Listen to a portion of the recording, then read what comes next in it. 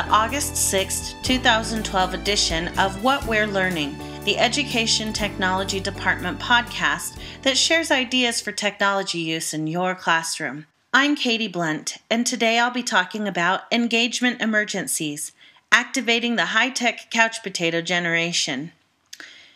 This podcast is based on a session I attended at ISTE 2012 in San Diego. The content comes from Annette Lamb. You can access her workshop resources at http colon slash slash eduscapes.com slash sessions slash emergency. This summer at the ISTE, International Society for Technology and Education conference, I attended a three hour workshop focused on activating students of the high tech couch potato generation. I think a lot of parents and teachers worry about our tech savvy students doing nothing but sitting and staring at their computers or other electronic devices all day, rather than getting up, getting active, and getting involved. This workshop proved to me that using technology does not mean merely sitting. Teachers can and should plan technology enhanced lessons that get students more active, more involved, and more excited about learning, and more in touch with the world.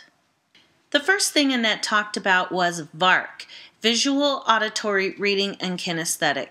She talked about mixing these modalities with video to engage students' active senses, to um, focus on content within context, and to bring in relevant technology to the classroom.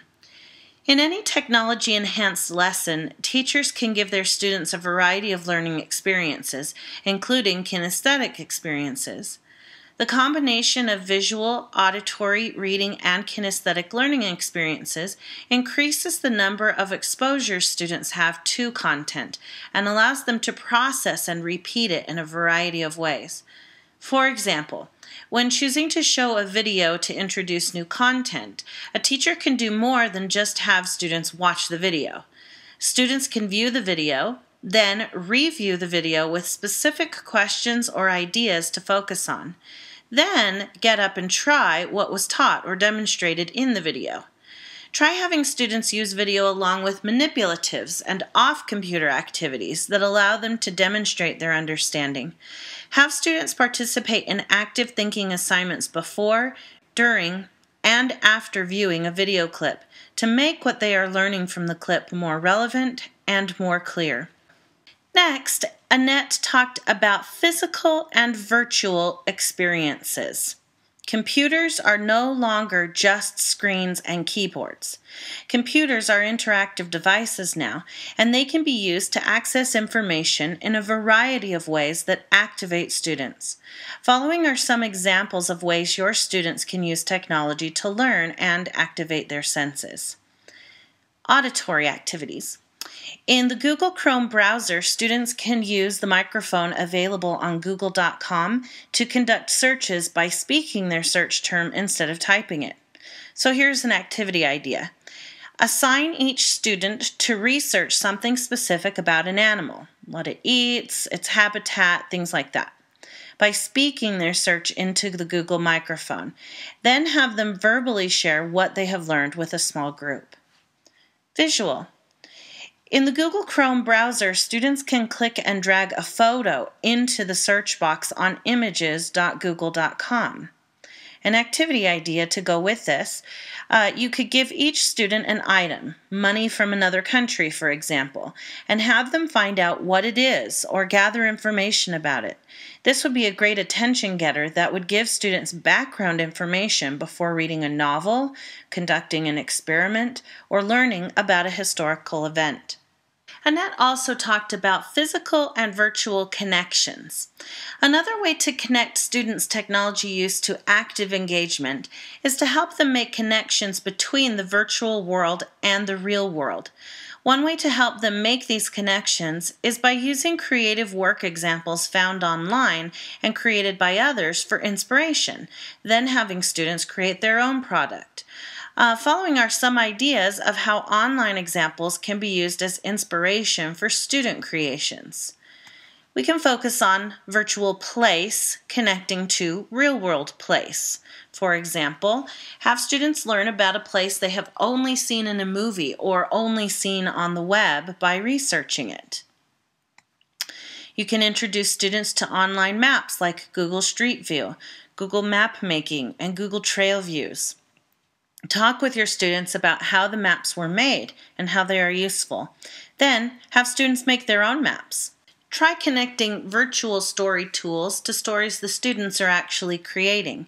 You can use Rory Story Cubes app on an iOS device to generate ideas for a story. You can have students create storyboards on sites like Storybird or Comic Creator. You can also try connecting the virtual world and the real world when creating student exhibits. For example, students could build a physical exhibit like a wax museum, a diorama, or a display board with a recorded narration to go with it. Try using sites like Voki, Vocaroo, or Blabberize to create the narration video. Link the recorded narration using a QR code that can be displayed next to the physical exhibit. Another idea is to use QR code to take a physical exhibit beyond the physical display. Have students create a list of questions to include with their display. Have them create a website that houses the answers to the questions. You could generate a QR code to display next to each question that directs peers to the web link where they can find the information they need to answer the questions can also connect video virtually and in the real world. Have students view online videos, music videos, instructional videos, etc. Then have them create their own video projects using what they saw as inspiration. Word clouds are also another great way to connect virtual and physical worlds. Have students view murals, timelines, infographics, word clouds, and word shapes online. For example, the Lincoln Douglas debates, student bullying, and the presidential timeline are all great word clouds found online. Then have students create their own using sites like Wordle, Tiki and ImageChef's word mosaic. Data collection is another great example. Have students conduct their own data collection or use existing data sources like Gallup or FedStats, and use online tools like Create-A-Graph or ChartGo to organize their results. Interactives can help as well. Interactives are great as well. Have students make computer interactives come alive with connected off computer activities. Combine hands on activities with data collection tools. For ideas, check out ThinkFinity activities, Illuminations activities, and Science Netlinks activities. For more ideas like these, check out Annette Lamb's page about physical and virtual connections.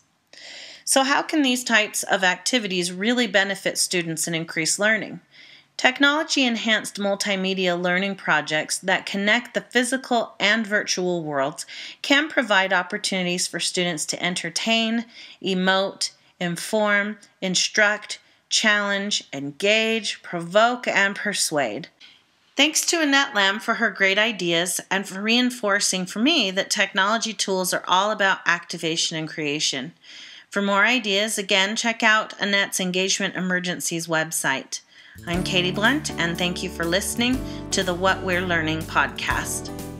To view our What We're Learning blog and to access all the information from the Education Technology Department at the Canyons School District, go to prolearning.canyonsdistrict.org.